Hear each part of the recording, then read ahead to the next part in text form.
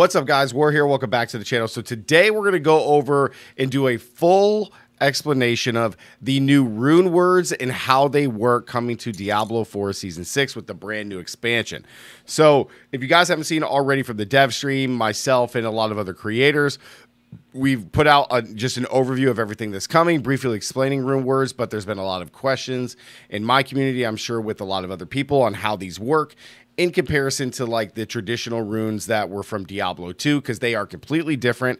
And I, I briefly went over them in my like overview video yesterday but I wanted to bring down and just kind of narrow the focus and break down exactly how these work so that way there's no confusion, or at least maybe not confusion, but people will understand how these work better. So, Let's get into it. What are rune words? Rune words are a new source of power. These are going to be things that you can combine to give your character or your class even more power and other abilities from other classes. So there's two different types of runes that are in here, and that is the rune of ritual, which is going to be kind of like your trigger um, rune. So you need to you know reach certain parameters which is the travel five meters and then there's your you know your power rune or your evocation rune which is the power that you're going to receive from meeting the condition so this one is once you have the power you replace your next evade with the sorcerer's teleport blinking further dealing damage and becoming unstoppable which is one of the best powers from diablo 2 everybody had it. It was fantastic right? So those are your two different runes and there's going to be a bunch of different ones that you're going to be able to combine. Now what they've added that is different from Diablo 2 for sure is the offerings that you see here. So you have these offerings where this is your trigger or your rune of ritual. So you need to gain 50 offering, and by and how you do that is the condition, which is traveling five meters. So every five meters you travel, you will get 50 offering. Okay, very important. Now on your evocation rune or your power rune, it requires 500 offering to activate, and it's a cool a cooldown of two seconds, and then that's how you get teleport.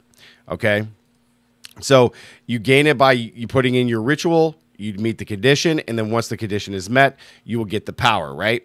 So it's it's it's very like simple when you think about it like that. However, let me go over to the Diablo stream. Let me pull up a quick video so that way you guys can see it like blown up and see how it works. So right here you got the the dev stream from yesterday, and you can see that it has the Bac where you travel five meters and you get 50 offering.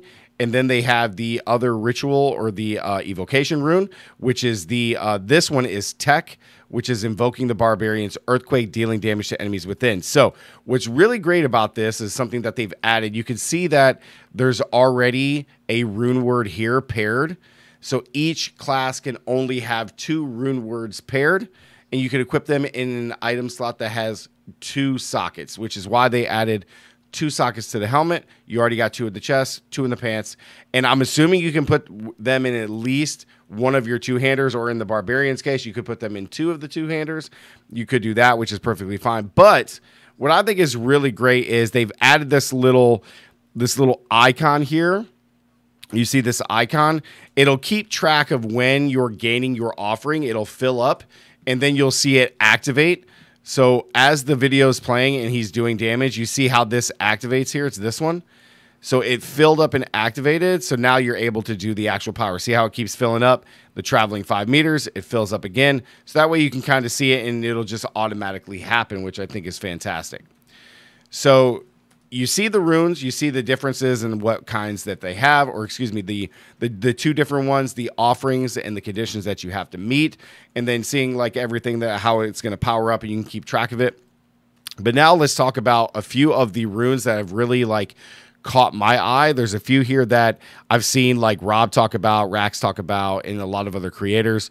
And when I first watched the dev stream and then looked at the notes, like obviously the one of the best runes for sure is going to be the Jah rune, which is giving every class teleport. Because like, what's cooler than having like a barbarian teleport and smash everything, or a necromancer teleport with all its minions? Like, there's nothing cooler than that in the game, right? Because teleport's the best movement skill in the game. So but there's some other ones here that are incredibly powerful. So there is 17 total ritual runes and then 28 evocation runes available. Okay. So in total, there's the 45 runes in total, and they can be be combined in any way possible. So once we get into the PTR next week, we're going to be able to test these and really just kind of narrow down some of the best ones and combinations. But when you're looking through these, there's a few that really stand out. Like Yul obviously is super easy to do which gaining 50 50 offering from casting a skill on cooldown is very easy to get. There's a lot of different classes that have a ton of cooldown. So getting this and then, you know, going up to 500 should be fairly easy. Of course, the uh, the Bac rune, which traveling five meters gets 50 offering. Five meters is not very far in this game. It is very quick to just like rack those offerings up. And one thing to keep in mind here, if I haven't mentioned it already, is that there's overflow. So, for example, this costs 500 offering. Like, if you're gaining so much offering to where you would have over 500, you're going to deal more damage. So it's it's kind of cool to have an overflow so you can keep the conditions running or your runes running all the time. I think that's fantastic. Um, it's it's kind of cool just to to see that because there's going to be some really cool ways we're going to be able to you know, mix and match these runes to really take advantage of that overflow. But we'll have to test that in the PTR next week. So Yul obviously is huge. Um, now the the Cir one is pretty good. Uh, cast the same non uh, channel skill three times in a row. That one's not bad, right? Um, there's some other ones that are really really good here, like um, Tam casting a non channeled core skill. Uh, this is very good for 50 or 25 offering. Like pretty much every build that you're playing for the most part is spamming core skills, unless you're doing like Lightning Spear this season. But this is very, very good. Um, gain 150 from invoking a power from another class because you can have two different runes, rune words activated. This should be very easy to attain, very, very strong. Casting an ultimate skill for 150 offering with Zan is very good because now ultimate skills get an increase in uh, the amount of skill points that they can have, so which can reduce cooldowns, etc. So that makes that very, very appealing. Um, inflict crowd control. This is good, but it's very small, so it's not that great. Cast evade is very, very easy to do. So there's a lot of here. Obviously, you travel five meters with Bac is insane. Um, there's a lot of good ones here. Cast after a moving skill. Like some of these are very, very good. Um, now let's get into the evocation runes and some of them that are like the best. So right off the bat, this one right here, the barbarians um, enhanced war cry for every other class is this might be the best evocation rune in this list because even though it's 500 offering and it is a legendary rune, cooldown two seconds does not matter. You get barbarians enhanced war cry, which gives you increased movement speed and damage dealt.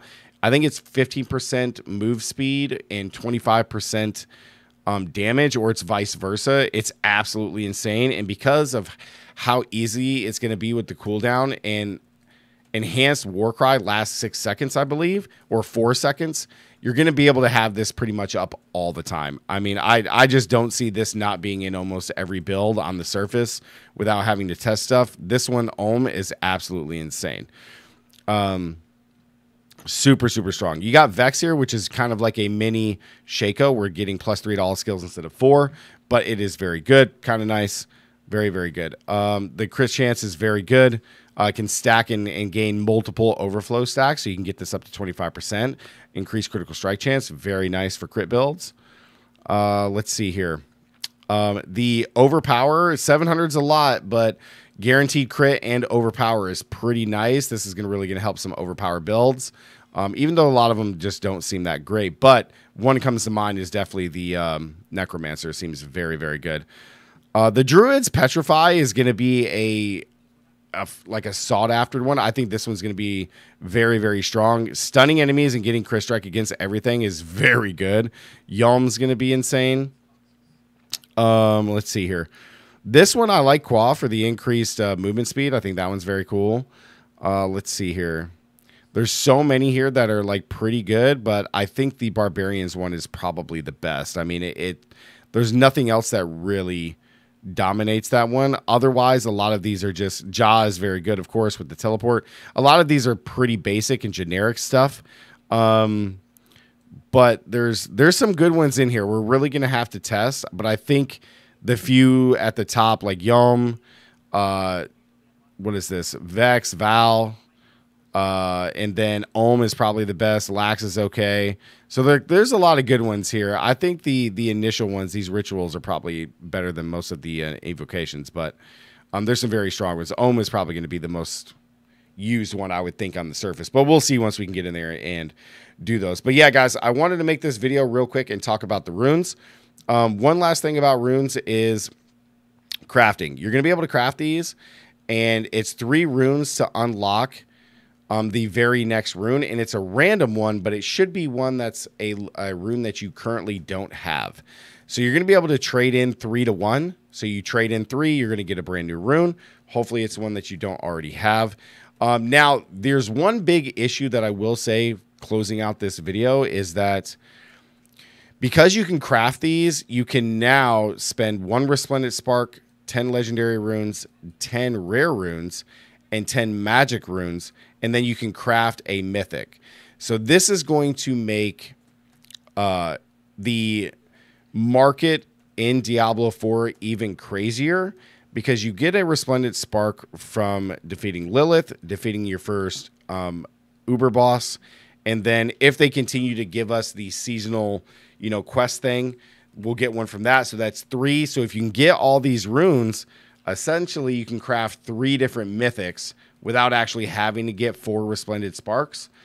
So that's going to be interesting and see how this shakes up the um, marketplace. Uh, but it is very interesting nonetheless. Some people are already saying that it's essentially trading mythic items because regular mythic items aren't traded. But if you can just get these runes, it's very easy to get sparks. So we'll have to see how that kind of works out in the first couple of weeks of the expansion. But yeah, guys, I wanted to break this down. I really hope that this video helps you guys um, just understand exactly how the runes rune words work coming in the season and then some of the best ones that you guys can combine. So make sure to like the video, guys. Let's get this over 100 likes. Comment down below. Let me know what you think. Don't forget to subscribe, guys. And as always, stay gaming, and I'll see you guys in the next one. Peace.